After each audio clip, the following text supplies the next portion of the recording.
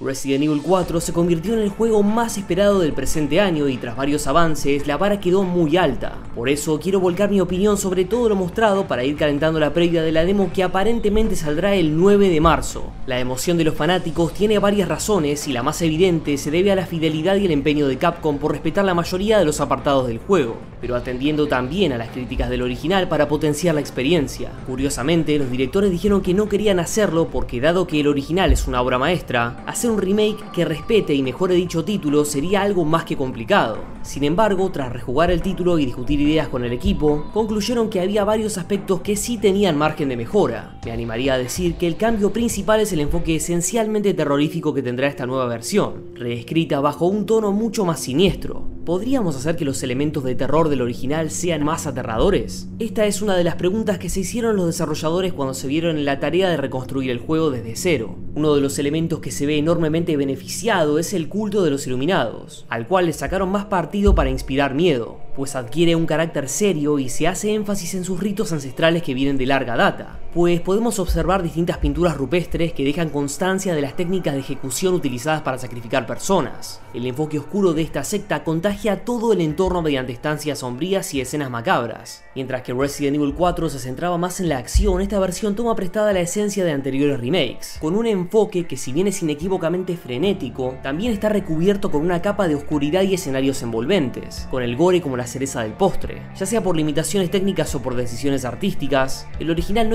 explotaba tanto ese componente y para los amantes del horror, verlo en el remake de esa forma tan visceral es algo que le sienta brutal.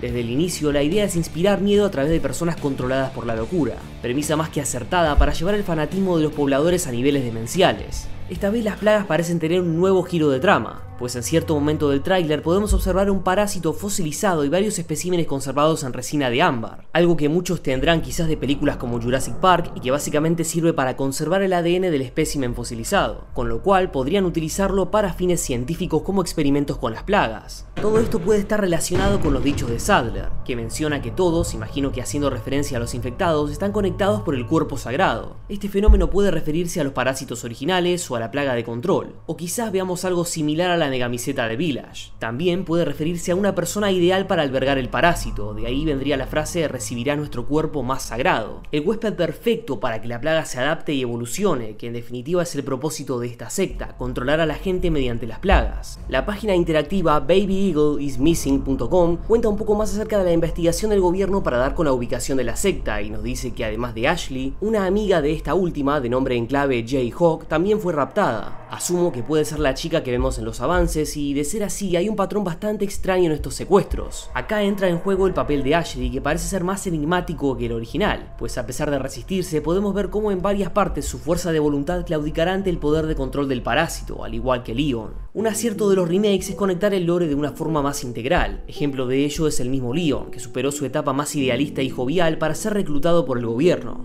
Una de las cosas que me gustaron es que tengamos un fragmento donde el presidente le encomienda la misión de rescatar a su hija, pero sin embargo se nota que aún acarrea varios fantasmas del pasado que no pudo superar. Dejando eso aparte, también veremos su faceta más madura y formada para enfrentar los problemas, mostrando que actualmente es un agente audaz, seguro y preparado no solo para cumplir con la misión, sino para confrontar las heridas abiertas de su pasado. Por lo visto en los avances contamos con varios elementos nuevos que modernizan la jugabilidad y van en sintonía con el perfil profesional de Leon. Varios de estos elementos marcan una renovación positiva y abren un abanico de elecciones al afrontar un combate en inferioridad numérica. Acorde a los estándares actuales de juegos en tercera persona, tenemos acceso rápido a todas las armas y podemos caminar y apuntar al mismo tiempo. Pero no se conformaron con eso, sino que también incluyeron el sigilo, un factor importante para eliminar al objetivo de manera discreta, pasar desapercibidos y esquivar ataques de los enemigos. Además, podemos ejecutar diversos ataques cuerpo a cuerpo, como las clásicas patadas, y por lo visto también podremos realizar un esquive.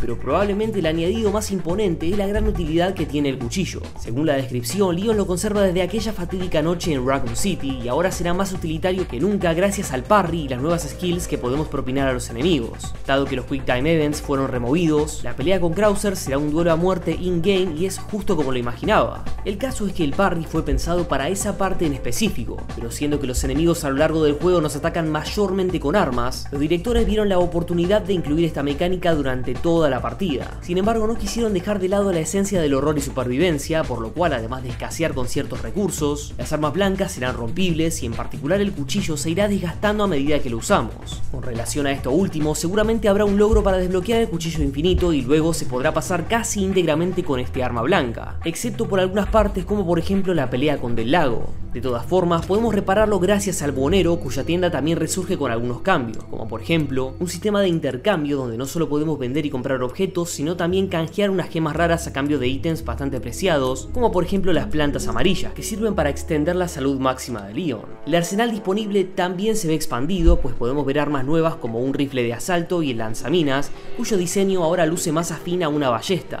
Además, este excéntrico comerciante nos ofrece diversas misiones secundarias consistentes en contratos y puzzles inspirados en los juegos originales. Todo esto fomenta el backtracking y le da un carácter de semi-mundo abierto al título. Narrativamente, se espera algún tipo de expansión e incluso una conexión con el duque, puesto que ambos mercaderes se conocen. De hecho, hasta me parece oír que tienen el mismo actor de voz. Siguiendo con los personajes, la nueva Ashley es mejor en casi todos los aspectos. Su nuevo diseño, inspirado en la neerlandesa Ella Freya, me encanta, pero no solo mejora la cuestión estética, sino que el papel de Ashley dentro de la narrativa luce más relevante y serio. Más allá de aprender a bajar las escaleras, parece que también será fundamental para poder avanzar en ciertos puntos de la trama. Además, ya no podrá esconderse o quedarse parada en un lugar específico. En cambio, podremos indicarle que nos siga de cerca o que se disperse. Si optamos por esta última, Ashley comenzará a correr hacia los laterales, lejos del quilombo para darnos espacio y no quedar en medio de las detonaciones de las armas. Su salud no será cuantificada mediante una barra de vida, sino que tras recibir una cantidad considerable de daño debemos reanimarla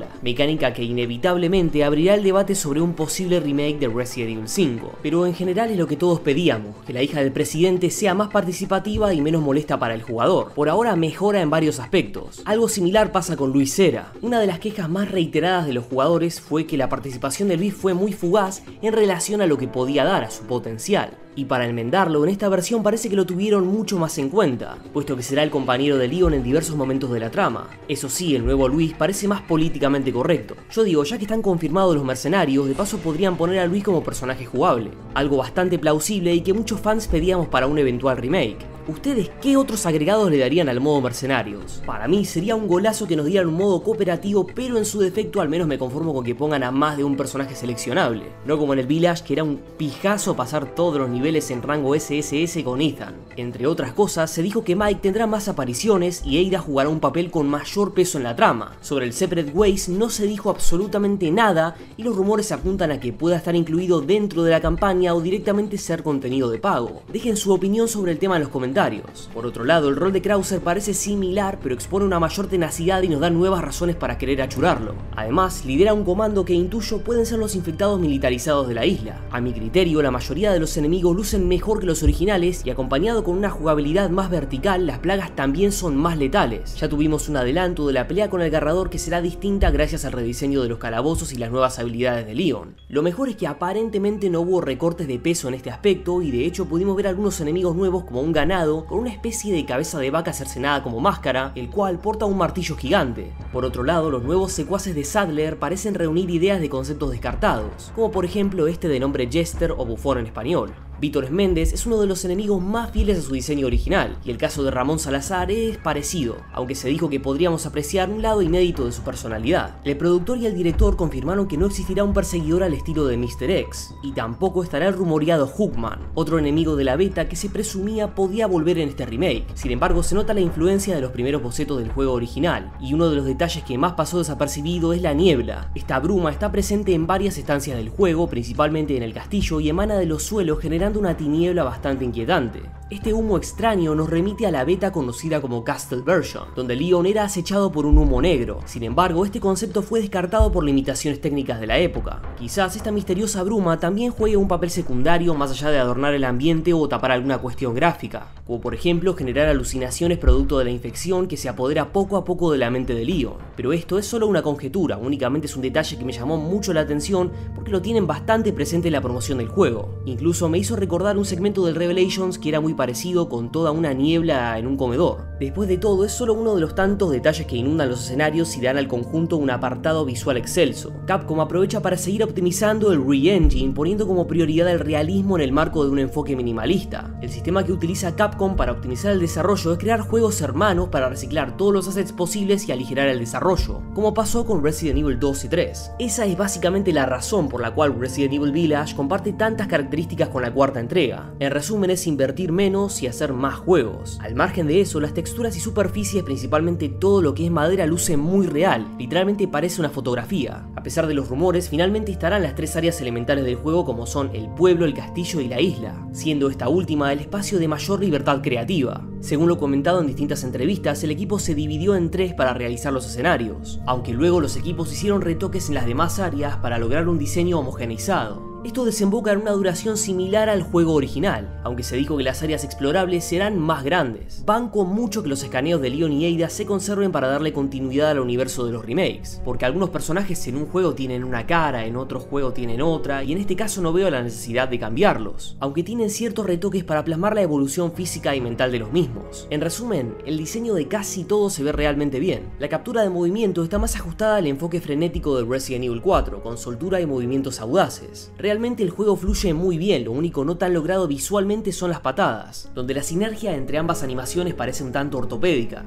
En adición, algunas animaciones como cuando Leon es tomado por un ganado se ven poco naturales o mejor dicho artificiales, pero a nivel global el resultado me deja más que conforme. Después tenemos que las lesiones son acumulativas y vale destacar que vuelven las desmembraciones, un detallazo gráfico que intensifica el realismo del combate. Es más, ahora podemos utilizar libremente el cañón para masacrar a los enemigos. Sin embargo, el apartado gráfico fue tanto alabado como criticado. Parte de las quejas surgen a partir de la lluvia, que muchos compararon con el remaster de GTA y catalogaron como molesta por estorbar la visión del jugador. Aunque en una reciente entrevista, el productor aclaró que están preparando un parche del día 1 para reparar este desperfecto. Otra de las polémicas está vinculada al lobo, el cual directamente aparece muerto. Cuando fueron consultados por esto, los desarrolladores evadieron la pregunta diciendo que para saber si aquel lobo es el mismo, deberían hacer un análisis de ADN. Pero más allá de esto, a grandes rasgos es difícil encontrar buenos argumentos para criticar el apartado visual, porque en general se ve bastante bien. En cuanto a la interfaz, tanto el indicador de balas y salud como el panel de comunicaciones tienen un diseño minimalista, discreto y sofisticado para interferir lo menos posible con el proceso de inversión. Muy posiblemente hayan tenido el mismo enfoque con la música, en donde cuyos tracks no busquen resaltar sino confluir con el entorno para sumergir al jugador en este mundo. Aunque a veces la música de los nuevos juegos partiendo del 7 puede parecer un tanto genérica. Obvio que hay excepciones, pero en lo personal prefiero una banda sonora mucho más viva y melódica, a la altura de lo que siempre fue la saga. El juego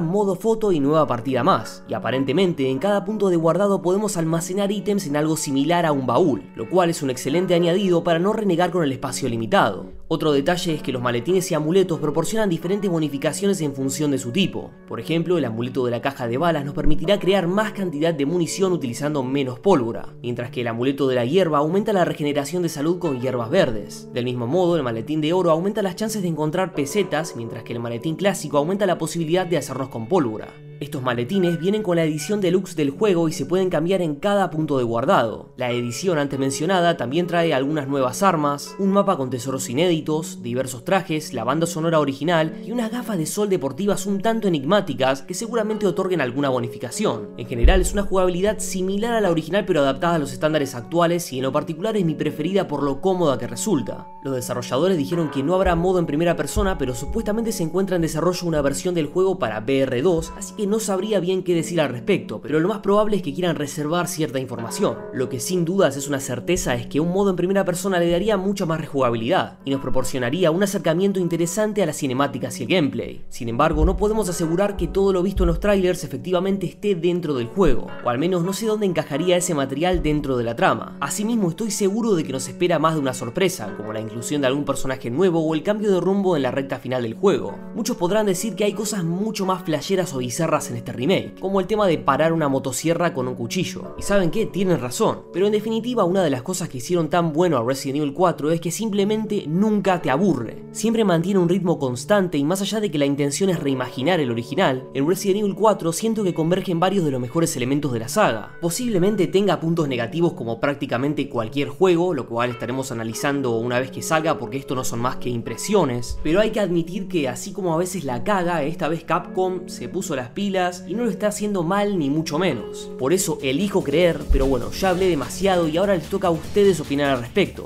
Son más que bienvenidos a comentar sus opiniones y gente ya saben, se suscriben, le dan like y si pueden activar la campanita, mucho mejor. Así no se pierden ningún video que subamos. Si me das una mano, la verdad quedaría eternamente agradecido. También me pueden seguir en redes sociales donde tiro data y noticias de la saga. Y bueno, un saludo a todos y nos vemos en el próximo video con más contenido de la saga. Un abrazo gente y hasta el próximo envío.